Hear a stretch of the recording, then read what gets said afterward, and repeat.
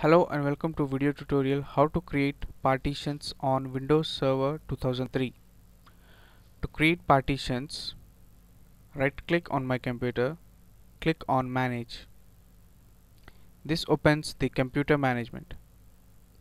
In computer management, select disk management under storage. Here we have two disks, disk 0 and disk 1 let's create partitions on disk 1 right click on unallocated space and click on new partition. This opens the welcome to the new partition wizard. Click on next to continue. Here we have partition type. Basically we have two types of partitions primary partition and extended partition primary partitions are the only partitions that are bootable. So every system needs at least one primary partition whereas extended partition is not bootable. However we can locate the Windows directory on this extended partition. Extended partition contains the logical drives we will see that in later. Let's create the primary partition first. Select primary partition click on next. Here we can specify the partition size. Let's say of 1 GB click on next. Assign drive letter or path. Here we can assign a drive letter to the drive. Let's say E click on next. If you want to perform a quick format check the box perform a quick format. And file system as FAT, FAT32 or NTFS here we will be selecting the file system NTFS click on next. Click on finish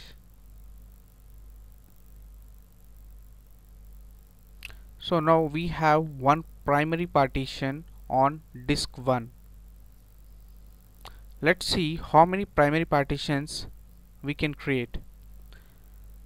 We will be creating one more. Right click on the unallocated space click on new partition click on next. Select primary partition click on next. Let's add one more 1 GB click on next assign the following drive letter. Select the drive letter and click on next. Select perform a quick format and click on next.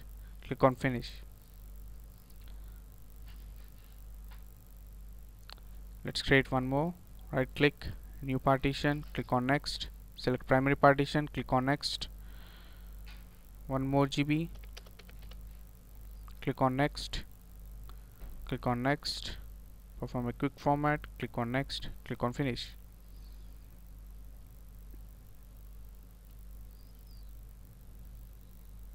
Now let's create one more. Right click on unallocated space new partition click on next. Select primary partition click on next. Select one more GB click on next click on next. Perform a quick format click on next click on finish So now we have four primary partitions on disk 1. Let's try to create one more. Right click on unallocated space. You can see that new partition option is grayed out. That means on a disk we can create up to four primary partitions. So the, the remaining unallocated space which is 35.99 GB is unused. So let's delete one primary partition. Right click on the primary partition. Click on delete partition. Click on yes to continue. So now we have three primary partitions. Right click on unallocated space. Now he, here it is showing the new partition option click on new partition click on next. Select extended partition and click on next. Let's create the extended partition with 10 gig. Click on next. Click on finish. Now let's create one more partition in the unallocated space. Right click on unallocated space here you can see that new partition is grayed out. This means we can create only one extended partition on a disk. So here the right procedure is to create three primary partitions and allocate the remaining whole space to an extended partition so that we can create a logical drives in that. Let's delete the extended partition. Right click delete yes. Now right click on unallocated space click on new partition click on next. Select extended partition click on next.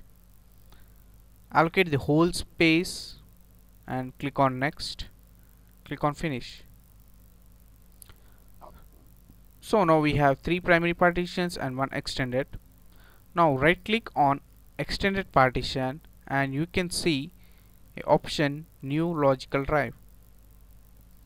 Click on new lo logical drive click on next. Now you can see that the only option here is logical drive. That means that logical drive can be created only in extended partition. Click on next here. Let's queue the space as 1 GB click on next. Here we can assign a drive letter. Assign a drive letter and click on next. Perform a quick format. Click on next. Click on finish. So now we have one logical drive in extended partition. Let's create one more right click on free space click on new logical drive click on next. Select logical drive click on next. It's one more GB click on next. Assign a drive letter. Click on next. Perform a quick format. Click on next. Click on finish so similarly we can create n number of logical drives in extended partition according to our needs so we have seen that we can create up to four primary partitions or three primary partitions and one extended partition Thank you for watching this video tutorial.